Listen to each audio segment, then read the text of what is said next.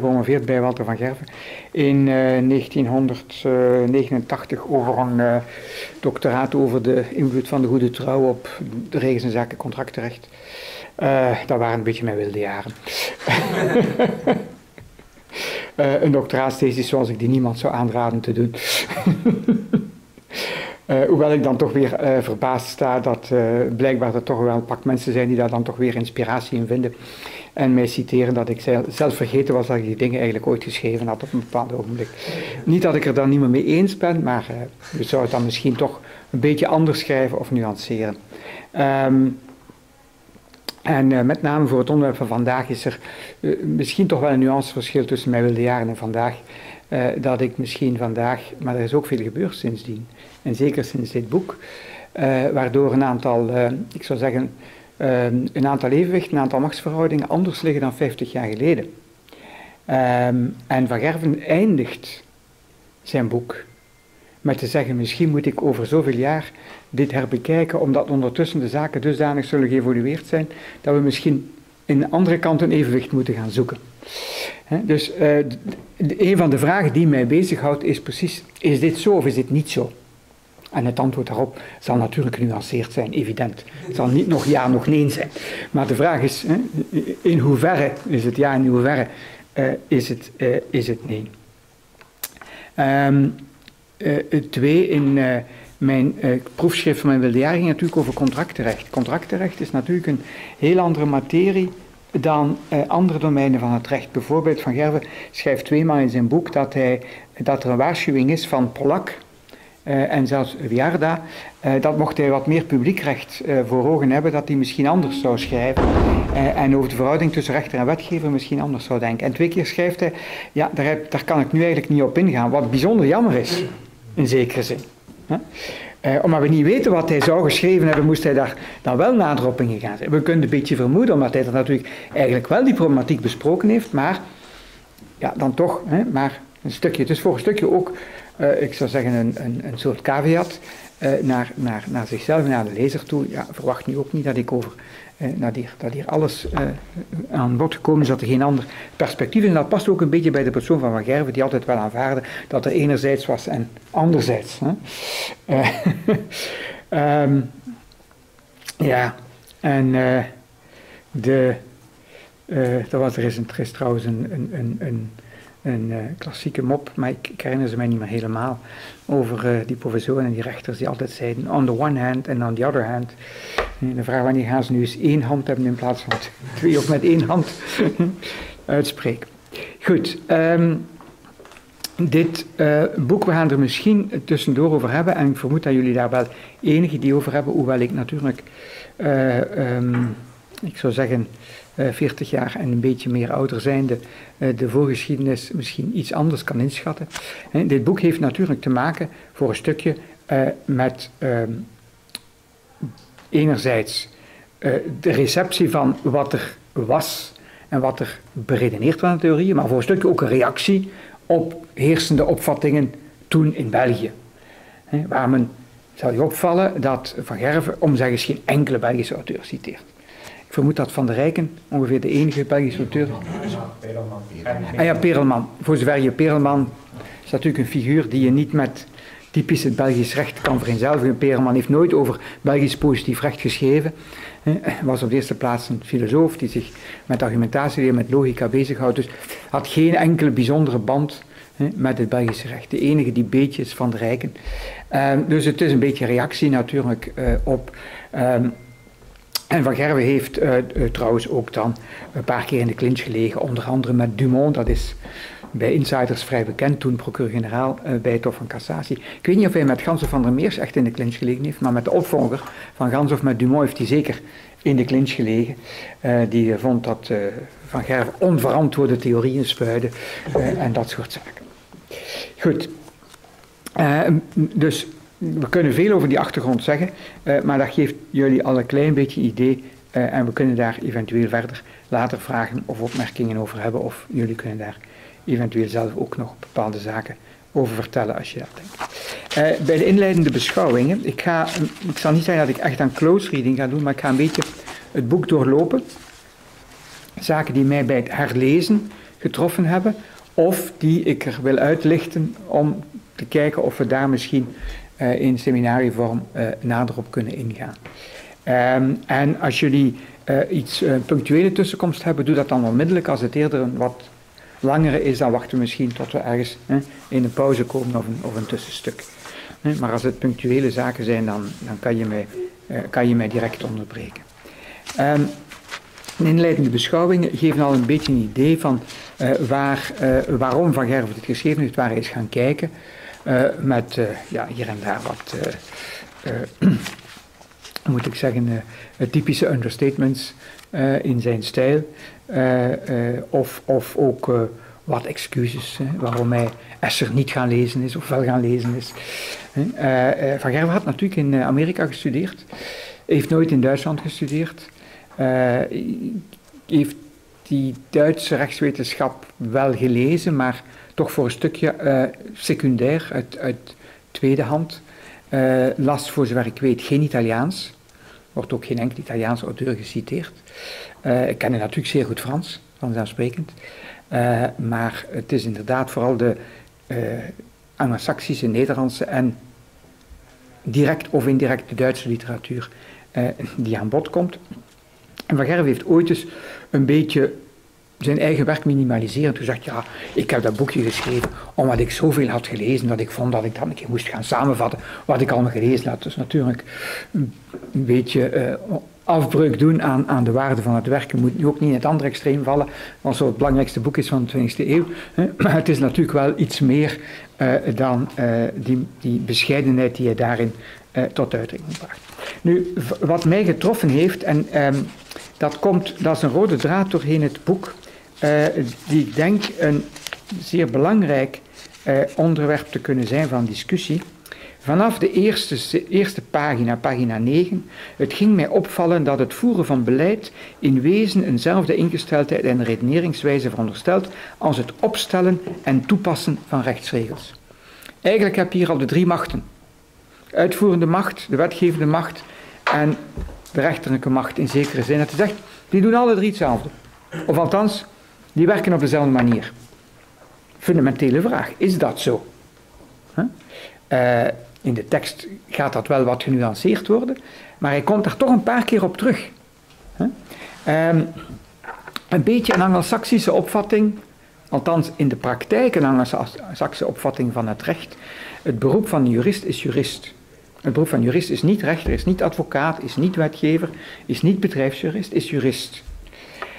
Uh, Amerikaanse traditie bestaat er ook in dat men veel sneller van het ene naar het andere overschakelt. Dat is bij ons natuurlijk de laatste decennia wel iets uh, meer dan, dan vroeger het geval was. Uh, um, en dat men het gemakkelijker, of dat men, dat men ten eerste ook de, de opleiding als jurist ziet als een opleiding tot alle beroepen. Terwijl de, de typische Duitse opvatting over wat de rechtsfaculteiten moeten doen, is mensen opleiden tot goede rechters. En de rest zullen ze wel leren, hè? maar dat is waarop het zich concentreert. En als ze dat kunnen, dan kunnen ze de rest. De Amerikanen zijn daar een beetje anders in, hè? Uh, uh, meer pragmatisch. Uh, ja, je ziet ook een land waar het, recht ook veel meer bottom-up is gegroeid. Dus eigenlijk de idee van het recht groeit uit de praktijk. Dat zit als een rode draad, die Amerikaanse insteek zit als rode draad toch wel ergens in, in dat werk. Uh, de, de, de, wetgeving is uh, van onderuit gegroeid, als het ware, zou je kunnen zeggen. En het is omdat juristen allerlei dingen zijn gaan doen. En toch tegelijkertijd kan je niet zeggen dat Van Gerven echt een grote verdediger is van het gewoonterecht. Wat misschien logisch zou zijn. Ehm, voor een stukje natuurlijk wel, maar het is toch nooit de gewoonte als dusdanig. Die komt maar heel marginaal aan bod, vind ik zelf. Um, moeten we misschien ook uh, even proberen uh, over te hebben. Als, het, als ik de tijd zelf niet te veel volpraat, jullie moeten me de tijd tegenhouden. Hij illustreert dat in, in pagina 10 dus zowel bij het opstellen van contracten, reglementen of wetten eh, heeft de jurist een concrete situatie op oog die hij op een of andere manier door middel van algemene regels wil vatten. Nu eens bij het opstellen van regels uitgaande van een concrete situatie om een regel, dus een contract of een wet te formuleren, dan wel bij het interpreteren van regels of beslechten van een geschil uitgaan van de regel met het oog van de toepassing op in een concrete situatie. Hij, hij zegt, eigenlijk gaat dat twee keer over hetzelfde. Ik ben daar een beetje sceptisch over, zul u tussen de regels al horen, waarschijnlijk. Hè? Ehm, maar voor een deel geef ik hem gelijk. Voor een deel. Waarom? Omdat, en dat komt een paar keer terug, en daar heb ik dan wat andere literatuur dan Van Gerven, die hij niet citeert, eh, die ik eh, uit mijn hoofd ken, want ik heb het niet nagelezen, maar uit mijn geheugen van mijn jonge jaren. Ehm, maar terugkerend hierop, hè, vanuit het probleem gaan kijken welke regel gaan we daarvoor maken, of eh, omgekeerd, welke regel moet daarop van toegepast worden. Het is wel zo dat uh, een jurist in beide bewegingen inderdaad heen en weer gaat tussen feiten en recht. Dat dat niet in één richting gaat, nog in de ene, nog in de andere. Hè? Dat dat uh, een, een, een, zaak is. En dat heeft voor een stukje ook geleid tot uh, zowel fact als rule scepticism in het legal realism. Uh, want als het geen twee vaste grootheden zijn, dat je van het een naar het ander gaat en dat dat zowel het een als het ander beïnvloedt, dan kom je tot het resultaat dat eigenlijk nog het ene nog het andere bestaat. Dat de feiten geen feiten zijn, dat de regel geen regel is. Van Gerven gaat zo ver niet en hij bekritiseert het legal realisme op een bepaald ogenblik, komen daar straks op terug. Um, je zal het van mij niet verwachten, maar in zekere zin heeft hij, is hij misschien een beetje te sterk dat gaan bekritiseren. Want daar, daar zit natuurlijk wel, ja, realistisch zit daar wel vrij veel in. Of wij dat als normatief model moet gaan vooropstellen, is nog iets anders. Wat dat als ideaal moet gaan vooropstellen, dat is nog iets anders. En daar heeft hij natuurlijk wel gelijk uh, uh, met de kritiek van Hart die hij dan volgt enzovoort. Daar komen we straks op uh, van dat verder. Maar er is ongetwijfeld een goede jurist zal heen en weer gaan tussen feiten en normen. Of feiten en waarden als u wil, of enzovoort. Hè? Dus het normatieve en het feitelijke. En zien in welke mate hij die twee op elkaar kan doen aansluiten. Dat is, uh, dat is zeker, uh, zeker het geval. En dat geldt natuurlijk bij uitstek voor de feitenrechter.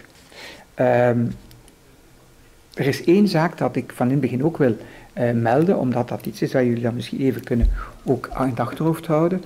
Um, de idee dat eigenlijk juristen fundamenteel hetzelfde doen, hoewel men vooral op de rechter concentreert, um, maakt ook dat het boek eigenlijk weinig differentieert, om niet te zeggen niet, tussen soorten rechters. want als je al zegt dat de wetgever en de advocaat en de hetzelfde doen, dan ga je zeker niet gaan zeggen dat de ene rechter iets anders doet dan de andere. Uh, en natuurlijk, voor een deel kan je dat niet kwalijk nemen. Vijftig jaar geleden was er geen grondwettelijk hof. Het Hof van Justitie stond nog bij manier van spreken zijn kinderschoenen. Het uh, Europees Hof voor de Rechten van de Mens kon je nog niet rechtstreeks addiëren. Het was enkel via de commissie dat een zaak onaanhangig gemaakt wordt. Dus de context is natuurlijk anders en de vraag is of je vandaag inderdaad nog dat uniform beeld van de rechter kan volhouden alsof alle rechtscolleges eigenlijk op dezelfde manier omgaan met recht en feiten of op dezelfde manier moeten omgaan met recht en feiten. En ik zal proberen van daar nog eens op terug te komen, dat ik daar natuurlijk zelf ook wel enige ideeën over heb, maar ik wil niet te ver, niet te rap vooruitlopen, want ik moet eerst proberen om te kijken wat Van Gerven ziet en wat jullie eh, gezien hebben ook. Um, goed, dan um, nog een derde punt uit de inleiding. Uh, hij zegt, eigenlijk is elke beslissing een waardeoordeel. Um, we gaan, maar hij nuanceert het onmiddellijk. Hij zegt daarbij, um, er zit altijd, en dat vind ik heel terecht, er zit achter elke beslissing zit er een waardeconflict.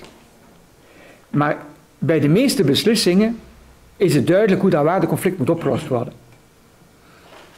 En moet de rechter dat niet meer oplossen omdat, ofwel omdat je vindt dat de positie van de wet zo belangrijk is, ofwel omdat de consensus in de samenleving zo is, maar in de meeste gevallen moet dat waardeconflict. Omdat in de meeste gevallen is het duidelijk welke van de met elkaar tegenstrijdige waarden hier de voorrang moet krijgen. En dus welke regel dat je in concreto moet toepassen. Hm? Maar voor de vooruitgang van het recht zijn de relatief schaarse gevallen belangrijk waarin de oplossing straks kan gevonden worden door de beslechting van een actueel en niet alleen maar potentieel aanwezig waardeconflict. Actueel in de zin van het is niet opgelost, er is, geen onvoldoende consensus over, onvoldoende duidelijkheid over hoe dat moet opgelost worden. Um, nog iets, ik denk dat dat juist is maar we moeten nog zien welke consequenties we daaruit halen. Zowel dat dat in de meeste gevallen eigenlijk geen probleem is, zeker niet bij de feitrechters. Hm? Als je naar het grondwettelijk hof gaat, dan zit je misschien al op een ander niveau. Zeker niet bij de feitrechters. Um, en dat um, inderdaad er gevallen zijn waarin er een actueel waardeconflict is, uh, waarbij dan natuurlijk de vraag rijst, is dat dan de taak van de rechter om dat op te lossen en hoe? Huh?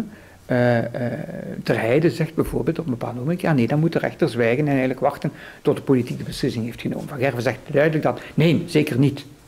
dat is rechtsweigering. Dus dat zijn een aantal zaken die mij opgevallen zijn. Dan gaat hij zelfs nog een stap verder. Er is een grote gelijkenis tussen rechterlijke en niet-rechterlijke wel, dat is niet een stap verder, niet rechterlijke rechtsvinding, want dat is in feite hetgeen dat hij in de eerste zin daar juist ook reeds had gezegd. En dan geeft hij die waarschuwing die ik daarnet reeds citeerde, hè, waar hij Polak citeerde.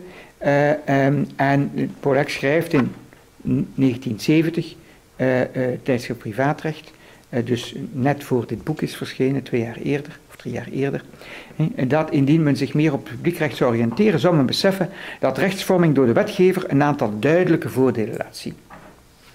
Van Gerven spreekt daar niet tegen, maar hij gaat er eigenlijk niet op in. Uh, het doet mij denken op uh, de discussie in Amerika met het uh, ondertussen zelfs niet meer voorlaatste, maar ik denk derde laatste boek van Adrian Vermeulen, want die schrijft er ongeveer elk jaar in, waarin hij een paar jaar geleden een, ik ben nu de titel van het boek vergeten, een, een, een eh, heel eh, sterk uitgewerkt eh, boek heeft geschreven waarin hij probeert uit te leggen waarom de wetgever in veel betere positie is om inderdaad waar de conflicten te beslechten dan de rechter. Hm? Dus het is jammer dat we Van Gerven en Vermeulen niet samen zouden kunnen zetten in een debat, maar dat kan niet meer, of het zou in het hiernamaals moeten gebeuren. Maar Vermeulen is nog alive en kicking dus ik, hoop, ik hoop van hem ooit eens naar hier te halen, maar ja, vanaf volgend jaar ben ik op emeritaat en heb ik niet veel meer te zeggen. Maar ik hoop van hem ooit eens uh, naar België te halen. Um, de, we gaan even verder, maar dat is eigenlijk een inleiding op wat verder aan bod komt, dus daar kan ik relatief snel over gaan. Uh, verschuiving van normgerechtigheid naar Einzelfallgerechtigheid. Uh, daar moeten we het zeker nog over hebben. Uh, de vraag is, is het dat wat gebeurt? Wat zijn de gevaren daarvan? Van Gerven gaat op de gevaren daarvan vrij goed in. Dat is iets wat hij zeker niet onderschat.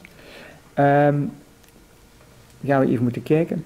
Um, hij, hij kondigt ook al aan dat het boek zal gaan over de verschuiving van systeemdenken naar probleemdenken.